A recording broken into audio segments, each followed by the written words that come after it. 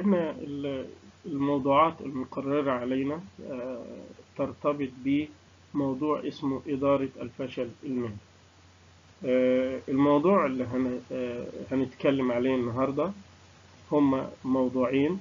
الموضوع الأولاني مفاهيم مختلفة للفشل المالي التعرف على المفاهيم المختلفة للفشل المالي. الحاجة الثانية المخاطرة المالية. وعلاقتها بالإفلاس وقيمة المنشأة المخاطرة المالية وعلاقتها بالإفلاس وقيمة المنشأة. المحاضرة دي إن شاء الله تتعلق بموضوعين. أول حاجة يعني إيه الفشل المالي وإيه المفاهيم المختلفة للفشل المالي؟ معنى الفشل المالي والمفاهيم المختلفة لهذا الفشل. بعد كده آه، الموضوع الثاني آه، في حالة الحصول على قروض. هل يؤدي ذلك بالضرورة إلى إفلاس المنشأة؟ أو الحصول على القروض هل يؤدي إلى زيادة قيمة المنشأة ولا لأ؟ يبقى عايزين ندرس العلاقة بين المخاطرة المالية الناشئة من الاقتراض وعلاقتها بكل من الإفلاس وقيمة المنشأة. أول حاجة عايزين نعرف المفاهيم المختلفة للفشل المالي. آه، الفشل قد يكون فشل اقتصادي أو فشل أعمال أو ممكن يكون عسر مالي فني أو عسر مالي حقيقي. آه، طب نشوف يعني إيه فشل اقتصادي. الفشل الاقتصادي آه، ده الحالة اللي الشركة بتجيب عائد على الاستثمار أقل من تكلفة الأموال. المنشأة بتحصل على مصادر تمويل. كل مصدر من مصادر التمويل له تكلفة. يبقى دي اسمها تكلفة الأموال. تكلفة الأموال دي بتمثل الحد الأدنى من العائد على الاستثمار الواجب تحقيقه. طب المنشأة إذا جابت عائد أقل من تكلفة الأموال يبقى في هذه الحالة بنسمي ده الفشل الاقتصادي. هي الحالة اللي فيها المنشأة تحقق عائد أقل من تكلفة الأموال. أما فشل الأعمال فهو الحالة اللي بتتوقف فيها أعمال المنشأة وبتكون بعد كده هتخش في مرحلة التصفية. في عندنا نوعين من العسر المالي. في عسر مالي فني وعسر مالي حقيقي كلمة عسر مالي فني دوت حالة مؤقتة أو عجز مؤقت في السيولة. عجز مؤقت في السيولة يعني إيه؟ يعني الأصول المتداولة اللي عندي لا تكفي لتغطية الالتزامات العاجلة. يبقى عندي أصول متداولة. هذه الأصول المتداولة لا تكفي لسداد الالتزامات العاجلة يعني صافي رأس المال العامل هيكون سالب يبقى في الحالة ده دي بنسميها عسر مالي فني. أما العسر المالي الحقيقي أن المنشأة تحقق قيمة هذه القيمة أقل من القيمة الدفترية للأصول. يعني عندي أصول مثلا 100 جنيه 100 جنيه لما أجي أجيب القيمة الحقيقية لهذه الأصول أو القيمة السوقية لهذه الأصول هذه القيمة الحقيقية لا تتعدى ال 100 جنيه تكون أقل من 100 جنيه. يبقى المنشأة بتستثمر 100 جنيه ولكن عائد الاستثمار أو قيمة هذا الاستثمار لا تتعدى ال 100 جنيه. يعني باخد من أصحاب الأموال 100 جنيه بشغلهم بيحققوا قيمة أقل من ال 100 جنيه. دي اسمها عسر مالي حقيقي. هنا عندنا بيانات عن منشأتين س وص مديني بعض البيانات. البيانات اللي عندي دي البيانات اللي عندي دي زي ما شفنا في المحاضرة الأولانية بالكلية لازم نتعرف على أول حاجة قائمة المركز المالي وعلى قائمة الدخل. البيانات اللي عندي دي أغلب هذه البيانات تتعلق بقائمة المركز المالي حق الملكية دوت عبارة عن الجانب يمثل الجانب أو بتوجد في الجانب الشمال من الميزانية اللي هي حقوق الملكية. طب والأصول الثابتة؟ الأصول الثابتة دي بتكون في اليمين في جانب الأصول اسمها أصول ثابتة. القيمة السوقية للأصول ديت ما بتكونش موجودة في الميزانية لأن الميزانية عندي أو قائمة المركز المالي بتكون بالقيم الدفترية وليس بالقيم السوقية. أما الالتزامات المتداولة فده في الجانب الشمال من الميزانية والالتزامات طويلة الأجل في الجانب أيضا الشمال من الميزانية. الأصول المتداولة الأصول المتداولة دي موجودة في اليمين يبقى في اليمين عندي عندي أصول ثابتة وأصول متداولة. في الشمال عندي حق ملكية وعندي التزامات متداولة والتزامات طويلة. أما القيمة السوقية فلا يتم تسجيلها في القوائم المالية. القوائم المالية تتعامل مع قيم دفترية. أول مفهوم من مفاهيم اليسر المالي الفني.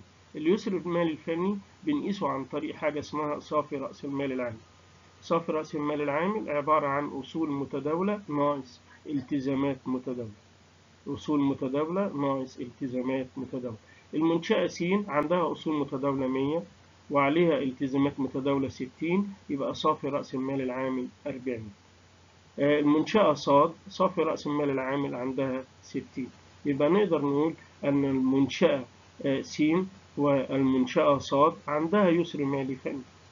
يعني يسر مالي فني؟ أن الأصول المتداولة تكفي لتغطية الالتزامات المتداولة ويتبقى عندي جزء بيتبقى عندي فائض. هذا الفائض يمكن استخدامه في تشغيل الأصول الثابتة.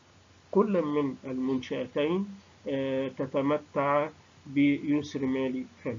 طيب اليسر المالي الحقيقي اليسر المالي الحقيقي عبارة عن ده مؤشر أو نسبة مئوية. النسبة المئوية بجيبها إزاي؟ بقسم القيمة السوقية للأصول على القيمة الدفترية للأصول. القيمة السوقية للأصول معطى موجودة عندي معطاة أما بالنسبة للقيمة الدفترية للأصول فأنت لو جمعت حضرتك لو جمعت الأصول الثابتة زائد الأصول المتداولة هتديني القيمة الدفترية للأصول. أو لو جمعت الجانب الشمال من الميزانية الجانب الشمال من الميزانية اللي هي عبارة عن الحق الملكية والالتزامات المتداولة والالتزامات الطويلة تجمعهم هم نفسهم المجموع بتاع القيمة الدفترية للأصول. يبقى القيمة الدفترية للأصول عبارة عن الأصول الثابتة زائد الأصول المتداولة من الجانب اليمين أو نقدر نجيبها من الجانب الشمال اللي هي عبارة عن حق الملكية والتزامات طويلة والتزامات متداولة. فالقيمة بالنسبة للمنشأة س لو قسمنا القيمة السوقية للأصول على القيمة الدفترية للأصول وضربنا في 100 طلعت 75% أما المنشأة س فهي 100 النسبة 150% أول حاجة المفترض نظريا إن أنا كل جنيه بستثمره المفروض بيجيب لي قيمة أكبر من الجنيه. يعني المفروض أن القيمة السوقية للأصول تكون أكبر من قيمتها الدفترية. حتى نقدر نقول إن المنشأة دي عندها يسر مالي حقيقي. طب بص للمنشأة س هتلاقي المنشأة س 75% يعني كل 100 جنيه بستثمرهم بيجيبوا قيمة تعادل 75 يبقى إذا المنشأة دي في حالة عسر مالي حقيقي. عسر مالي حقيقي يعني المنشأة دي عرضة للتصفية. ليه عرضة للتصفية؟ لو استمر هذا الوضع كده يبقى هذه المنشأة لا تحقق أي عائد اقتصادي. يبقى بتجيب عائد أقل من تكلفة الأموال يبقى هذه المنشأة معرضة للتصفية. وموضوع التصفية هنشوفه بعد كده في مرحلة قادمة إن شاء الله أو محاضرة قادمة. أما المنشأة صاد فعندها نسبة 150% يعني هي بتاخد جنيه بتشغله بقيمة تعادل جنيه ونص. كل 100 جنيه قيمتهم الاقتصادية 150 جنيه. يبقى المنشأة دي في حالة يسر مالي حقيقي هنا هندرس تأثير الاقتراض. اعتماد المنشأة في التمويل على القروض بدلا من الاعتماد في التمويل على الأموال المملوكة قد يؤدي إلى إفلاس الشركة. من هنا نقدر نقول أن هناك مخاطر مالية ناتجة عن الاقتراض. هذه المخاطر المالية ناشئة عن أن المنشأة حينما تقرر الاعتماد في التمويل على القروض فهي تلزم نفسها بسداد فوائد ثابتة مع سداد أصل القرض. وفي حالة أو في الحالات الاقتصادية السيئة قد لا تستطيع المنشأة الالتزام بتعهداتها تجاه المقرض يعني ما تقدرش تسدد الفوائد أو تتأخر في سداد الفوائد وأقساط القرض يبقى في هذه الحالة قد يؤدي الأمر إلى إفلاس المنشأة في الحالات الاقتصادية السيئة جدا. يبقى إذا نقدر نقول أن هناك مخاطر ناشئة من الاعتماد في التمويل على القروض يطلق عليها مخاطر مالية. طب إذا كانت المخاطر إذا كان الاعتماد في التمويل له مخاطر مالية طب ليه باخد قروض؟ أنا باخد قروض في حقيقة الأمر لسببين اتنين. السبب الأولاني أن القروض أو الاقتراض يعتبر مصدر تمويلي رخيص. يعني سعر الفايدة اللي بيطلبه البنك ده أقل عائد تتحمله المنشأة أما لو مولنا عن طريق أموال مملوكة يبقى في الحالة دي معدل العائد المطلوب من أصحاب الشركة هيكون كبير أكبر من سعر الفايدة على القروض. يبقى أنا المنشأة بتقرر الاعتماد على القروض لأن القروض تعتبر مصدر تمويل رخيص. دي حاجة. الحاجة التانية وهي دي الميزة المهمة وهي دي اللي إحنا عايزين ندرسها أن الاعتماد على القروض يحقق للمنشأة ميزة ضريبية. إيه الميزة الضريبية للاقتراض دي؟ إن الفوائد يتم دفعها قبل دفع الضريبة يبقى المنشأة المقترضة بتلتزم بسداد فوائد. الفوائد دي بخصمها من وعاء الضريبة إذا المنشأة المقترضة تدفع ضرائب أقل من المنشأة غير المقترضة. يبقى في الحالة دي بينشأ عني بينشأ عندي ما يسمى بالوفر الضريبي للفوائد. إذا نلخص الموضوع. الاقتراض له مخاطر مالية. إيه المخاطر المالية؟ احتمال إفلاس المنشأة. يبقى إذا الاقتراض قد يؤدي إلى إفلاس المنشأة وخاصة في الحالات الاقتصادية السيئة. الحالات الاقتصادية اللي ما أقدرش أسدد فيها الفوائد وأصل القرض. آدي المخاطرة المالية. لكن من ناحية تانية الاقتراض له ميزة. أنه مصدر تمويل رخيص وبيحقق للمنشأة ما يسمى بالوفر الضريبي. يبقى إحنا في حقيقة الأمر إحنا عايزين نشوف أثر الاقتراض من ناحية على احتمال الإفلاس ومن ناحية أخرى عايزين نشوف الأثر الإيجابي ليه وهو الوفر الضريبي للفوائد. يبقى القروض ليها ميزة وليها عيب. الميزة بتاع القروض الوفر الضريبي للفوائد. أما العيب بتاع الاقتراض هو احتمال الإفلاس وهو ده الموضوع اللي إحنا عايزين ندرسه. إحنا عايزين ندرس أثر الاقتراض على قيمة المنشأة. والإقتراض هيؤدي إلى تأثيرين على قيمة المنشأة تأثير إيجابي يتمثل في الميزة الضريبية اللي هي الإعفاء الضريبي للفوائد والأثر السلبي اللي هو الأثر على احتمال الإفلاس.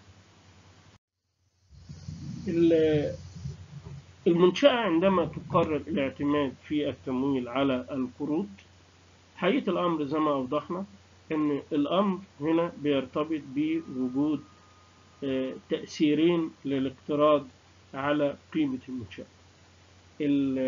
الاتجاه الأول هو احتمال الإفلاس.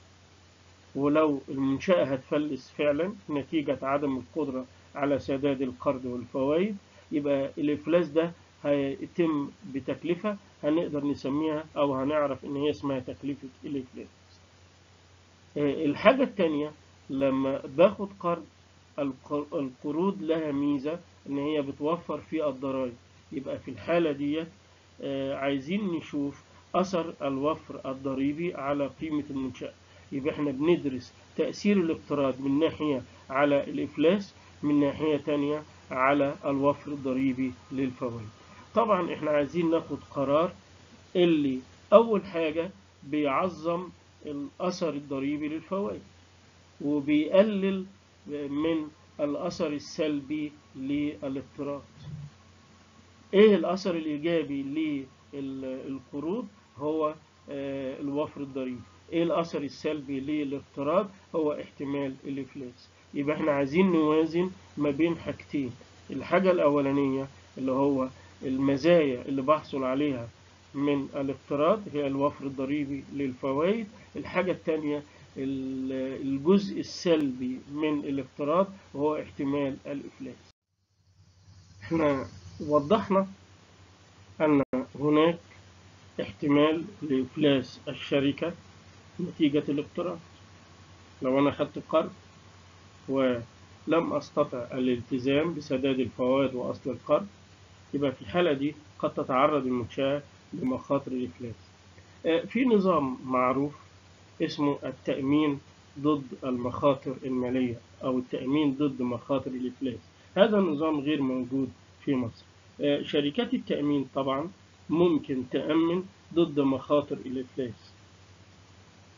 تأمن على أن الشركة التي لا تستطيع سداد القرض والفوائد يعني احتمال وجود إفلاس أن شركات التأمين هي اللي تتعهد بسداد هذا القرض أو سداد القرض والفوائد.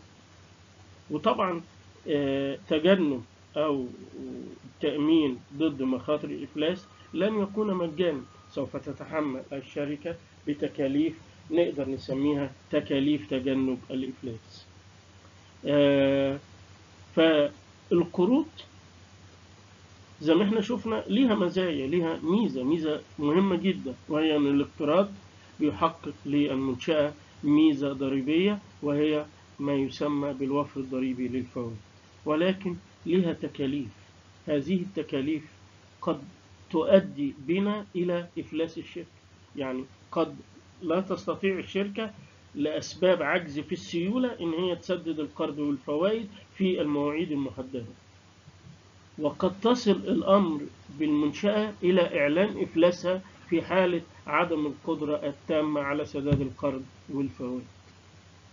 يبقى في الحالة دي في الحالة دي آه الاقتراض بالميزة بتاعته اللي هي الوفر الضريبي قد تتلاشى هذه الميزة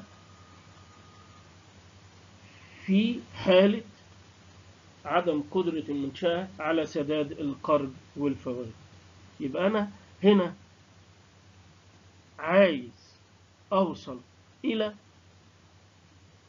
العلاقة أو إلى وضع الأمثل أو الوضع الأمثل اللي بيخلي تأثير القروض على قيمة المنشأة عند حدها الأقصى. يعني عايز أوصل إلى أقصى قيمة للمنشأة. طب للوصول إلى أقصى قيمة للمنشأة دي هي القروض؟ نمرة واحد ليها ميزة اللي هي الوفر الضريبي هذا الوفر الضريبي هيؤدي إلى زيادة في قيمة المنشأة. ليها عيب والعيب ده يتمثل في احتمال الإفلاس واحتمال الإفلاس يؤدي إلى انخفاض قيمة المنشأة. بالإضافة إلى ذلك أيضا في حاجة مهمة جدا. وإن المنشأة المقترضة كلما زادت نسبة القروض كلما زاد سعر الفايدة. يبقى إذا عندي هنا ثلاث حاجات متضاربين. الحاجة الأولانية الميزة الضريبية للإقتراض. الحاجة الثانية الأثر السلبي للإقتراض. الحاجة الثالثة إن مع زيادة القروض بيزيد الوفر الضريبي من ناحية وبيزيد احتمال الإفلاس من ناحية ده بسبب إيه؟ بسبب كمان حاجة ثالثة مشتركة ما بينهم اللي هي إيه؟ زيادة معدل العائد المطلوب أو زيادة سعر الفايدة اللي تطلبه المنشآت المالية لمنع مزيدا من القروض. الرسمة اللي معانا دي هي اللي بتشرح الجزء اللي أو بتوضح الجزء اللي إحنا شرحناه قبل كده. أول حاجة هنا بتوضح لي العلاقة بين الرفعة المالية اللي هي نسبة القروض والقيمة السوقية للمنشأة. ال- الخط الأفقي ده عند قاف ميم خط أفقي أهو موازي للمحور الأفقي أهو الخط اللي فوق ده اللي عند قاف ميم دوت قيمة المنشأة غير المقترضة قيمة المنشأة اللي ما فيهاش قروض خالص. أما تأثير الاقتراض على قيمة المنشأة فهنا عندي حاجتين اتنين. أول حاجة في تأثير إيجابي. هذا التأثير الإيجابي هو الخط المستقيم الخط المستقيم اللي بيبدأ من قاف ميم دوت. اللي يبدأ من قاف ميم إلى قاف دال فوق أهي عنده الخط المستقيم ده هو ده الميزة الضريبية للفوائد. يبقى الفوائد ليها ميزة ضريبية. إيه الميزة دي؟ الوفر الضريبي للفوائد. الوفر الضريبي للفوائد يؤدي إلى زيادة قيمة المنشأة. آدي الزيادة في قيمة المنشأة نتيجة زيادة الرفعة المالية. يبقى كل ما زود نسبة القروض كل ما قيمة المنشأة بتزيد بسبب الوفر الضريبي. ال- الجزء الثاني بقى اللي هي المحنة المالية. أو التأثير السلبي للاقتراض على قيمة المنشأة. عند الوصول إلى مستوى معين قد لا تستطيع المنشأة سداد القرض والفوائد. من هنا قد تتعرض المنشأة للمحنة المالية وهي احتمال إفلاس المنشأة. يبقى هنا في بعد الوصول إلى مستوى معين ماشي كده بتنشأ ما يسمى بتكاليف المحنة المالية. تكاليف الإفلاس تكاليف عدم القدرة على سداد القرض والفوائد. هذه التكاليف تؤدي إلى انخفاض قيمة المنشأة. يبقى أنا عندي هنا حاجتين.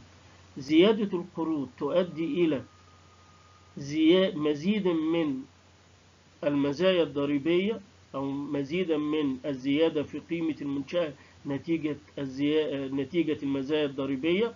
ولكن مع زيادة القروض أو الرفعة المالية أيضا تنشأ الأثر السلبي للاقتراض على قيمة المنشأة. يبقى إذا في الحالة دي أنا لازم أوازن ما بين حاجتين. الحاجة الأولانية أخلي ال- ال- الميزة المرتبطة بالقروض وهي الوفر الضريبي عند حدها الأقصى. وتاني حاجة أخلي العيب المرتبط بالقروض العيب المرتبط بالاقتراض وهو احتمال الإفلاس عند الحد الأدنى. يبقى لازم هنا أوصل لتوازن ما بين أول حاجة المزايا الضريبية من ناحية واللي هو احتمال الإفلاس من ناحية أخرى. يبقى أنا عايز أو- أوصل إلى قمة التأثير أو قمة أو أقصى ما تبلغه أو أقصى ما تصل إليه قيمة المنشأة نتيجة الاقتراض. هو ده اللي عايز أوصل له. أقصى نقطة لتعظيم أثر الاقتراض على قيمة المنشأة. يمكن تلخيص ال- الشكل السابق في المعادلة الآتية المعادلة دي بتقول لي إن قيمة المنشأة اللي هي ق بتساوي. قيمة منشأة غير مقترضة يعني منشأة ممولة بمية في المية من الأموال المملوكة اللي هي قاف ألف ميم ديت. أما قاف ح يعني القيمة الحالية. آه، ف ضاد يعني للوفر الضريبي للفوائد.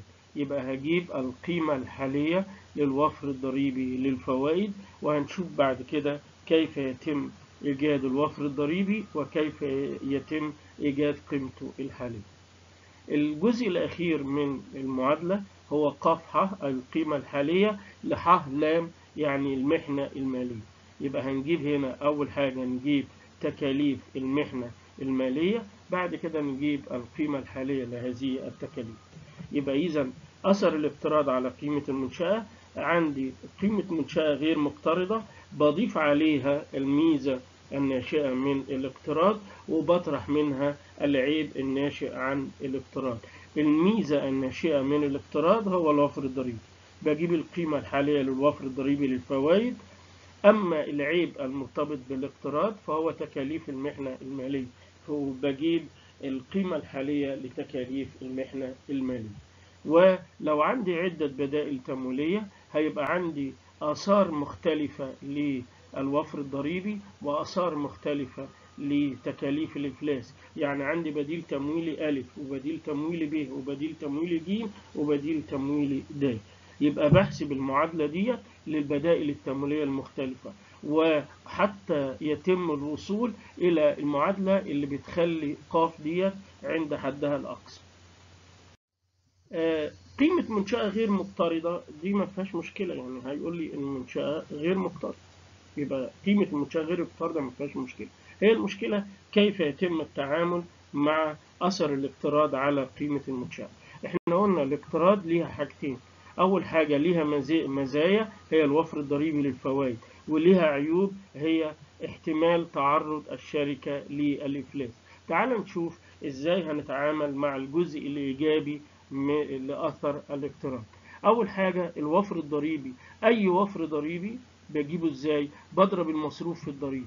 يبقى أي وفر ضريبي الإيجار أو الأجور أو مصاريف الصيانة أو قسط اللي هو أو قسط الإيجار أو هنا عندي في الحالة دي الفوائد. ما هي الفوائد دي مصروف. طالما مصروف يبقى بتجيب لي وفر ضريبي. الوفر الضريبي بتوصل إليه إزاي؟ بضرب مدفوعات الفايدة اللي هي المصروف في معدل الضريبة بعد كده بجيب القيمة الحالية للوفر الضريبي إزاي؟ بفترض أن المنشأة مستمرة إلى ما لا نهاية.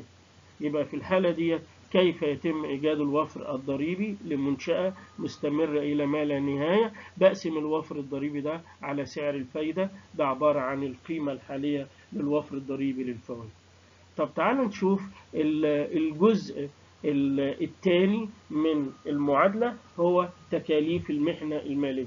تكاليف المحنة المالية هنستعيض عنها بمصطلح اسمه تكاليف الإفلاس. تكاليف الإفلاس بجيبها إزاي؟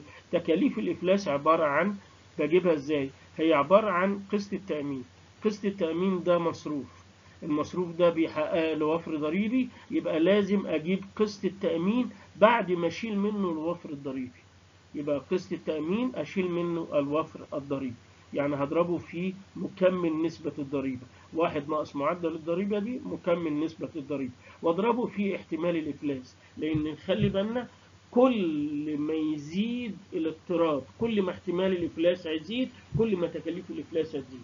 بعد كده توصلت إلى تكاليف إلى تكاليف أو تكلفة الإفلاس أقدر أجيب القيمة الحالية لتكاليف الإفلاس. القيمة الحالية لتكاليف الإفلاس باختصار زي ما شفنا في المعادلة اللي فوق إحنا قسمنا الوفر الضريبي على سعر الفايدة عشان نجيب القيمة الحالية للوفر الضريبي. هنا هنقسم تكلفة الإفلاس على سعر الفايدة أيضا عشان نجيب القيمة الحالية للمحنة المالية أو القيمة الحالية لتكلفة.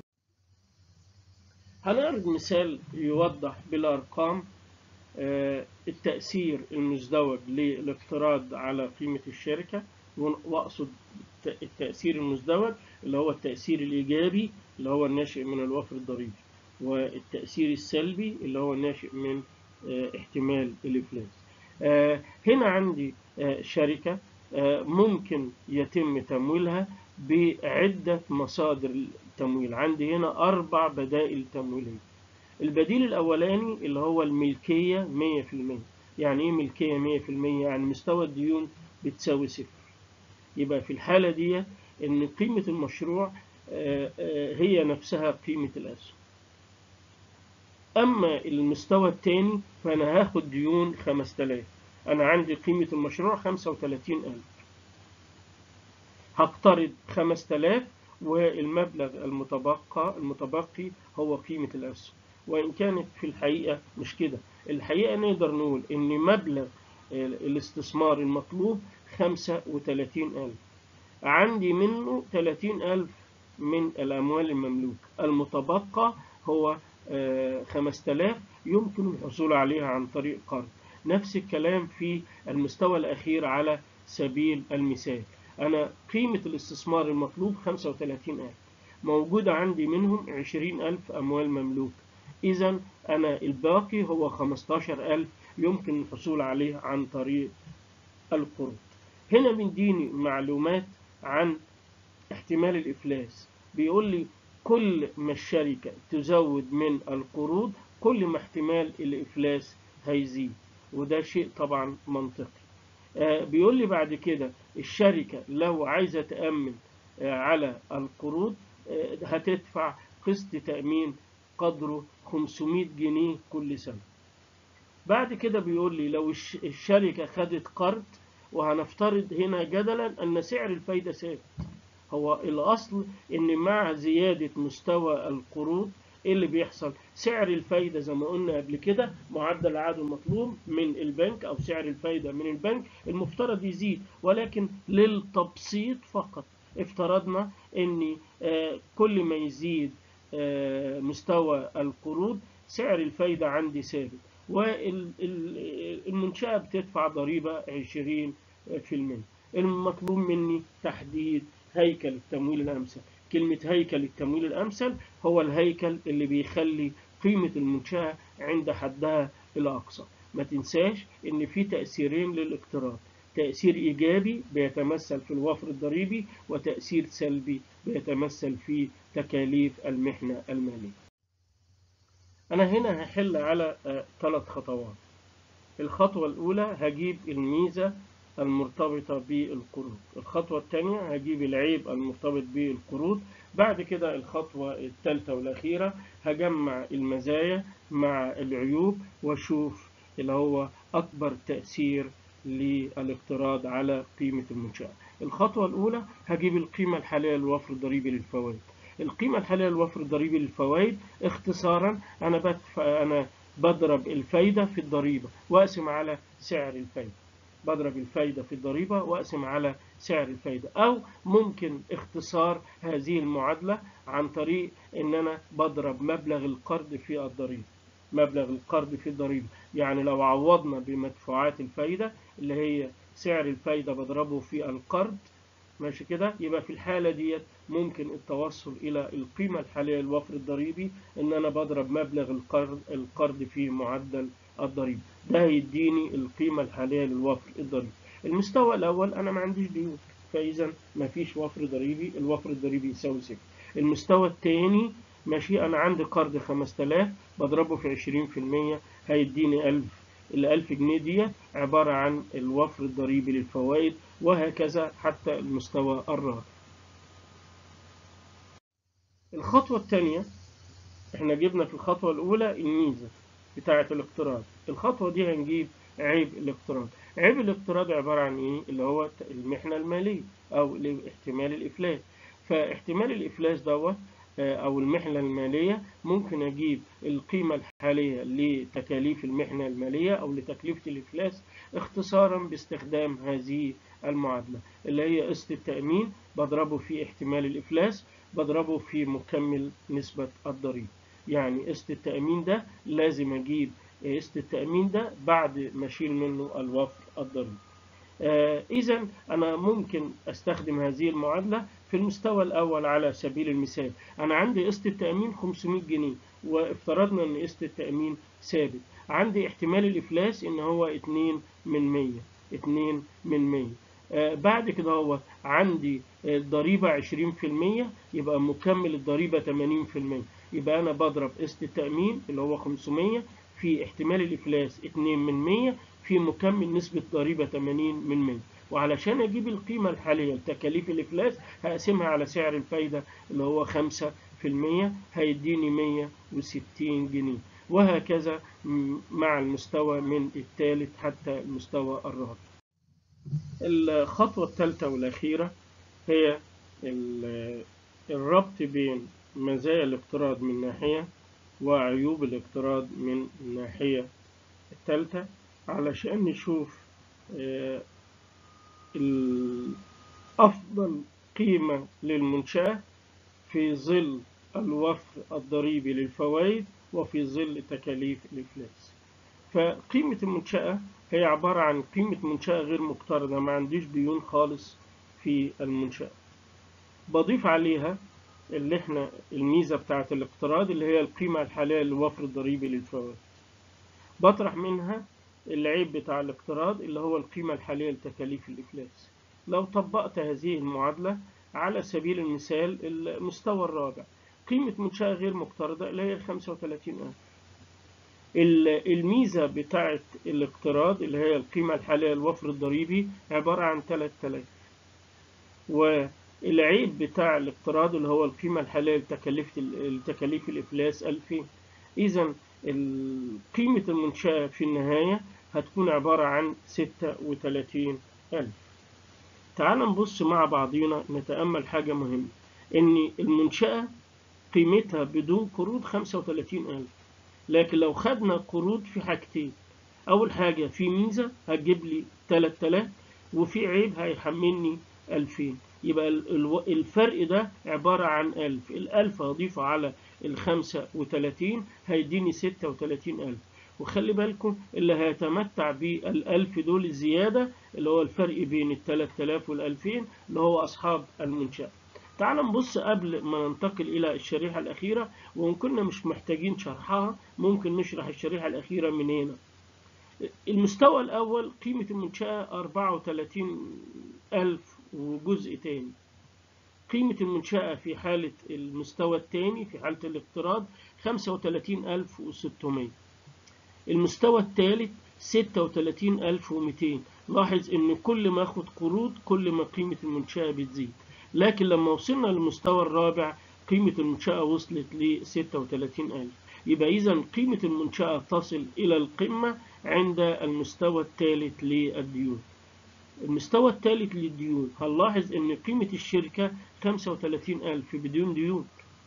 الميزة بتاعت الديون عبارة عن 2000 اللي هي القيمة الحالية للوفر الضريبي للفوائد أما العيب بتاع الاقتراض اللي هي عبارة عن القيمة الحالية لتكليف الأفلاس 800 الفرق بين ال 2800 1200 1200 أضيفهم على ال 35000 هيديني قيمة المنشأة. ونخلي بالنا ال 1200 دول هم دول المزايا أو صافي المزايا للاقتراض اللي هيتمتع بيها مين؟ اللي هيتمتع بيها أصحاب المنشأة. يبقى هيكل التمويل الأمثل يتحقق عند المستوى التالي عند المستوى التالي. آه توصلنا من آه الشريحة السابقة أن قيمة المنشأة تصل إلى القمة تصل إلى أقصى قيمة. عند المستوى الثالث للديون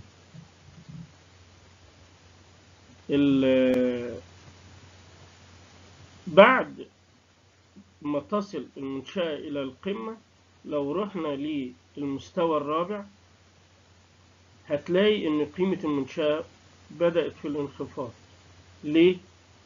لأن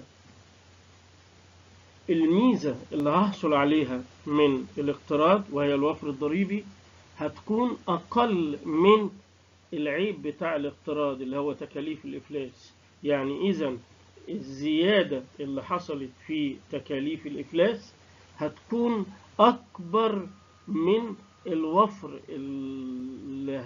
اللي هيحصل في الوفر الضريبي. ومن هنا نقدر نقرر أن هيكل التمويل الأمثل هو المستوى الثالث عند المستوى الثالث للديون قيمة المنشأة تصل إلى 36200 جنيه. هي عليها 10000 جنيه ديون. إذا هتقدر تسدد ديون اللي هي 10000 هيتبقى لأصحاب الأسهم إيه؟ هيتبقى لأصحاب الأسهم 26200 أصحاب الأسهم دفعوا في قيمة الأسهم 25000 إذا هناك زيادة. في ثروة المساهم ثروة أصحاب الأسهم بمبلغ 1200 جنيه. هي دي التأثير ال 1200 جنيه دي هي دي التأثير الصافي للاقتراض على قيمة المنشأة. هي دي الفرق أو أقصى فرق ما بين الميزة الناشئة من الاقتراض اللي هو القيمة الحالية الوفر الضريبي والعيب الناشئ من الاقتراض اللي هي القيمة الحالية لتكلفة الإفلاس. أشكر حضراتكم وننتقل إن شاء الله في المحاضرة القادمة في موضوع آخر.